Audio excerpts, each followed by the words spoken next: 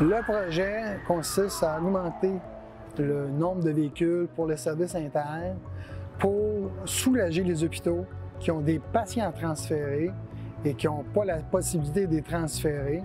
Et on va faire ce type de transport-là pour aider à désengorger les hôpitaux, pour les ramener en CHSLD, les patients, ou dans des sites non traditionnels, qui est les arénas ou les hôtels.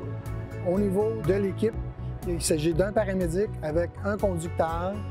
Euh, ce qui a été choisi actuellement, c'est euh, des étudiants qui sont en fin euh, de processus. Il leur reste juste l'examen final au ministère.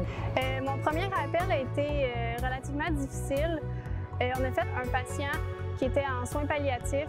On l'a transporté d'un centre à un autre. Puis c'est un patient qui était vraiment souffrant. Chaque petite bosse, chaque petite craque dans la rue lui, causait beaucoup de douleur. Donc, euh, grâce à Claude qui m'a montré euh, comment conduire adéquatement, comment euh, aller doucement pour ne pas blesser le patient, on a pu faire notre appel en essayant le, plus possible de, diminuer les douleurs du patient.